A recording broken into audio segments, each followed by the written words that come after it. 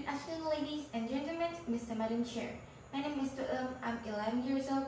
I come from class 6A2 Ngọc Lâm Secondary School. Today, I want to talk about a topic that had a root on the social network media sites, newspaper for many years ago. That is, should we improve the political system or living to another plan to live?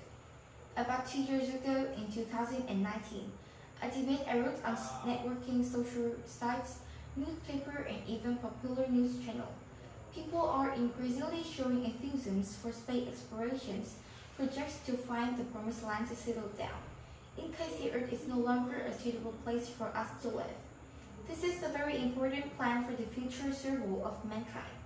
Although a question has risen that causing by many people to ponder the uh, relativity distance plan. Should we improve the political system in our home before leaving it finally?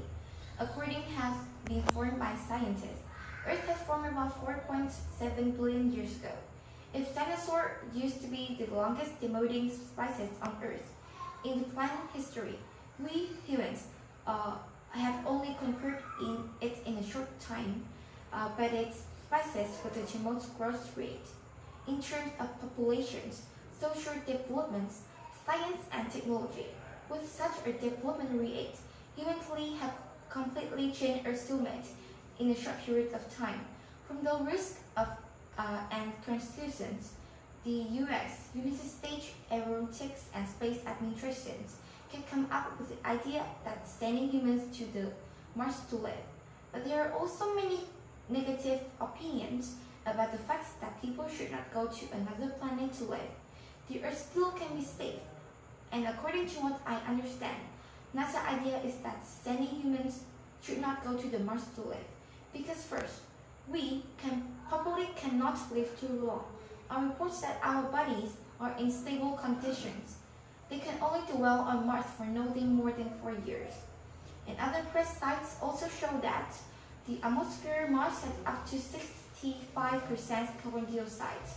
Besides, Mars has also a very cold place with a temperature about minus 62.2 degrees Celsius. My second point is that people are enjoying the best of the earth. Let's join hands to protect and preserve what we have. Mother Nature has given us trees, flowers, forests, and deserts, and the places of weather like autumn, and many beautiful nature landscape. What people have is wonderful. So why don't we think about protecting choosing to live into another planet to live.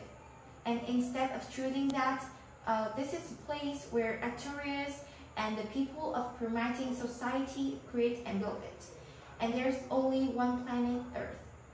And I very hope much that this message can of theirs so further and to the international communities and the people from all the world.